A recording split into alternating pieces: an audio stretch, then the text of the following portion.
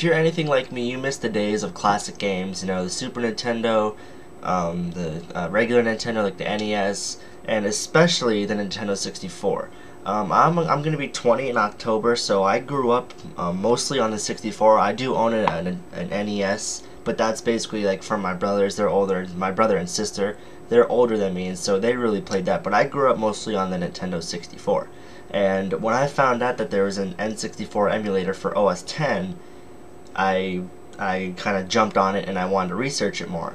But you know, you'd have to play it with the keyboard, and you can't play a Nintendo 64 game on a keyboard. You know, I mean, they have the Z button. You just don't have the N64 experience. It would just be too hard. And then, so then I was Googling, and I thought, you know, I have a PS3 in my room, and so I have a controller. My computer has Bluetooth. Could I hook up my PS3 controller to my to OS X? And sure enough, you can.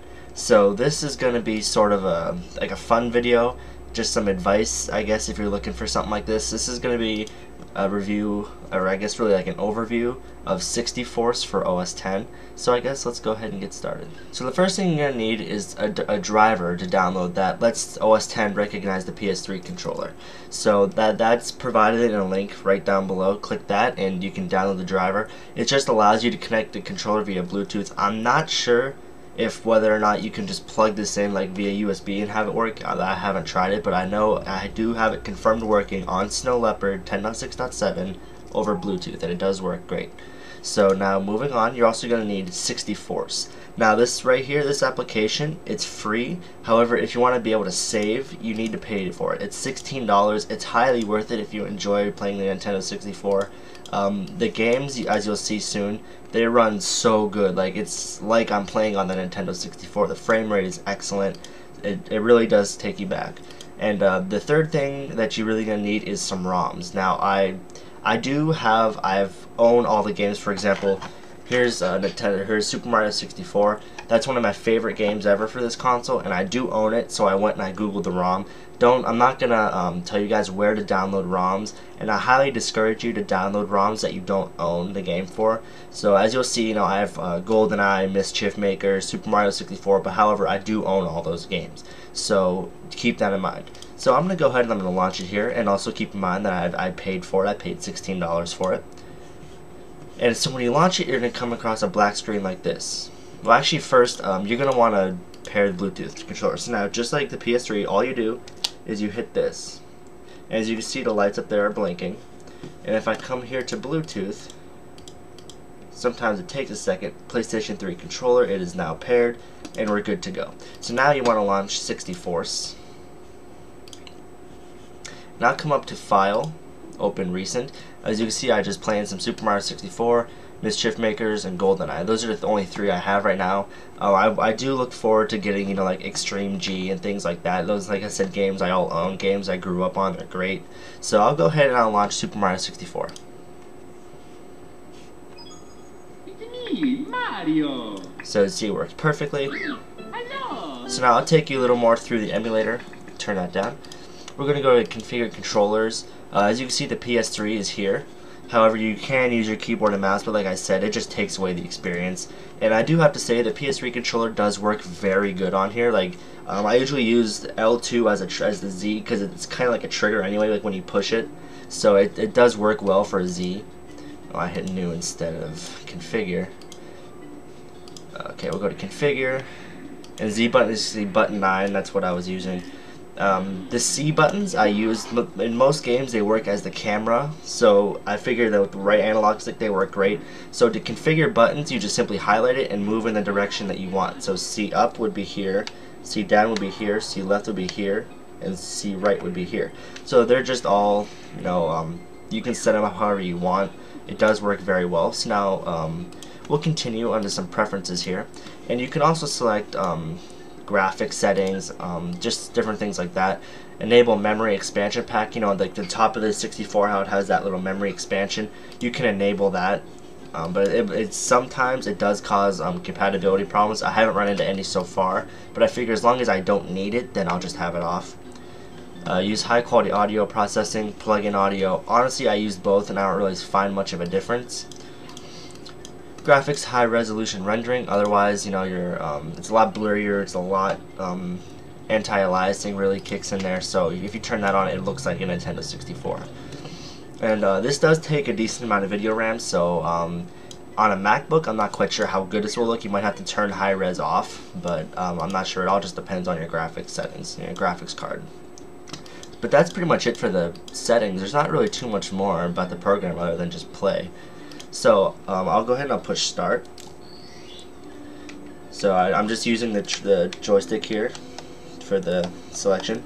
And yes, I've only had this game for three days and I already have like 70 stars. You know, I've just been addicted to this game. But um, as you can see, it works great. Sound works. So we'll take you guys through a level here. Alright.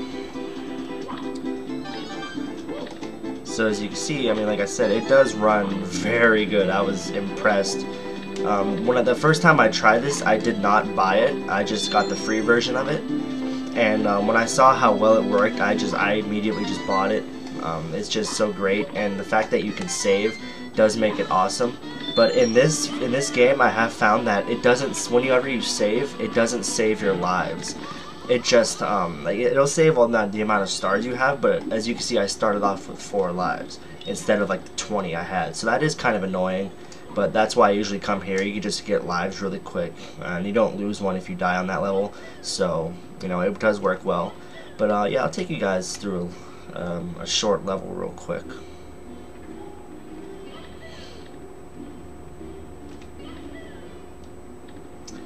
Okay we'll come up here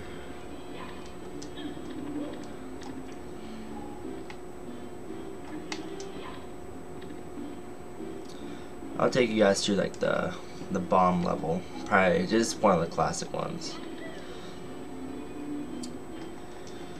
So we'll come through here. This is probably one of like the first level that you guys will play. I know it's always the first level I played when I had this game. And we'll we'll do the big bomb, dude.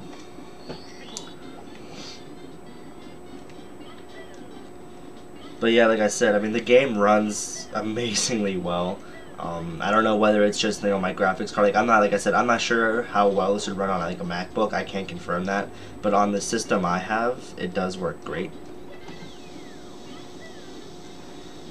So we're just going along here. And it's amazing. I used to find that part I just did so hard. And you play these games when you're older, it's a lot of these things just aren't as hard as they used to be. And of course got your little teleport through now.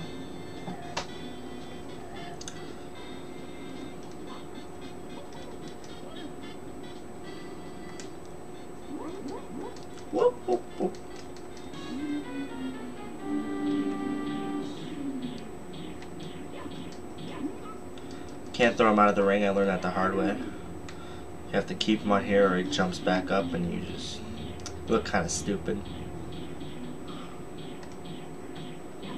Okay. And as you can see, I beat him. However, I already have the star, so I won't get it again. Oops.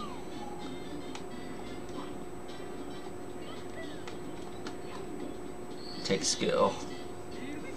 So there's Super Mario 64. Uh, like I said, it does work great. And in case I didn't have that star and I wanted to save it, you save the game freeze. I've custom made a directory, one for each of my games here. So you just save and overwrite, and there you go. So now I'll load uh, GoldenEye for you guys. Open recent GoldenEye.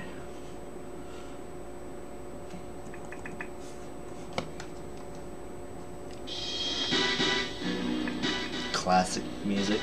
Uh, so now for this game, I do have to configure the control to something else because it's just too hard to play the way I have it. So I always just configure the Z button to be this button up here.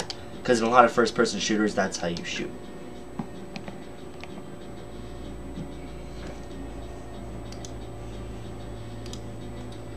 So now that that's all configured, move my mouse out of the way. We'll go here, select the mission, we'll do uh, we'll do Dam, just because I'm just playing through this on Agent right now. Obviously, it's very easy.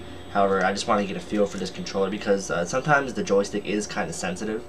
But this level does demonstrate a glitch that this, you can see like all this blurring up here. So it does that for only some levels. I've noticed that, you know, levels like Facility don't do that. But as you can see, like that glitching it has, I'm not sure why it does that. But it does.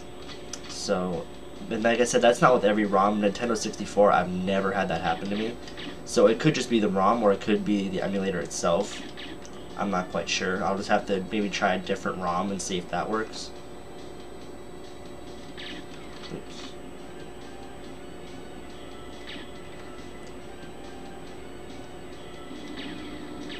As you can see, he just shot at me like four times and missed every time. So that's what you get when you play on Agent. It's just very easy. But you, you you understand if you try this. No, it is kind of touchy, so you really do have to get used to it first. So Agent is perfect for that. But um, other than that glitching it has up there, like which I said, like I said, I'm not sure why it does that, but um, it is very playable. As you can see, like I have great frame rate. So, but yeah, this video is getting kind of long, but I just wanted to show you guys, you know, the game or the emulator does work great.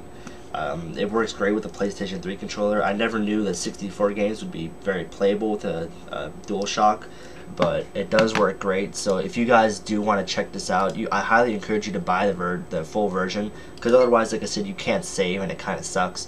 But um, just to support him, you know, the great frame rate, you get all the work that went into it. So it's just, you know, it's a great um, emulator to have. And it works on OS X, so people that say you can't game on OS X, I really have no idea what you're talking about.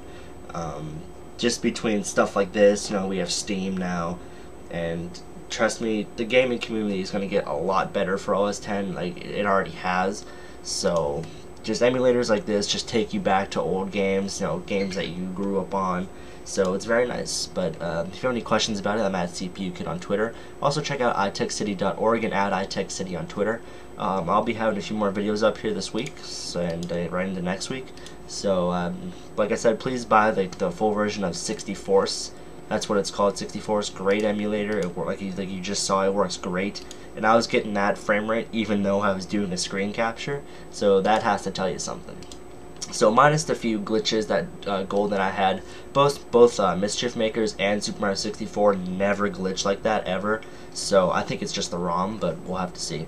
And so, like I said, beginning a disclaimer: don't download ROMs that you don't own the original game for. Please, um, you know, don't do that. It's you know sort of piracy and all that stuff. So um, before I ramble anymore, thanks for watching.